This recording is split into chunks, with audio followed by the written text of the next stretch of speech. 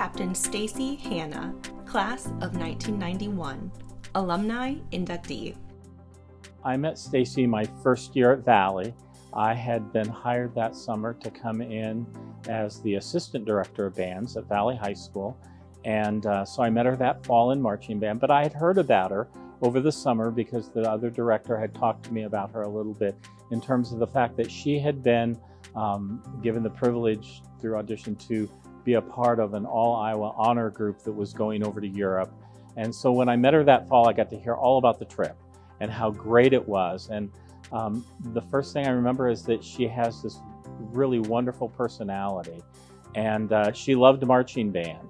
And so she was an asset to the band program and to ourselves. And that year there was some shifts and changes and I ended up uh, being the head director that took them to the, the, Orange Bowl that fall. Of course, they got to go to Disney World and do all that kind of stuff. But even the game and the parade was outstanding. It was the year that Rocket Ismail from Notre Dame played Colorado, and uh, Colorado won. And we were in the Colorado end zone, and we couldn't get out because the Colorado people were going to stay until 2 a.m. So the, the one thing that she did get to do is we all walked out and they took us out and let us walk down the tunnel where all the players go and wove us out. Chaotic behind the scenes, wonderful when you were on it. And uh, they felt such a great pride of representing Valley High School. Everything that I remember about her showed that she cared a lot about playing and a lot about her instrument. The thing I guess that I remember most is that we encouraged all of our kids, no matter what um, major they were going to have when they went to college, be a part of the marching band program. And she was headed to Iowa State.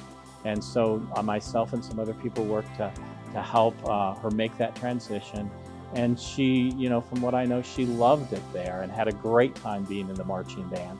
She cared about people. She led no matter where she was at. Um, she didn't have to have the first chair or the second chair or any chair.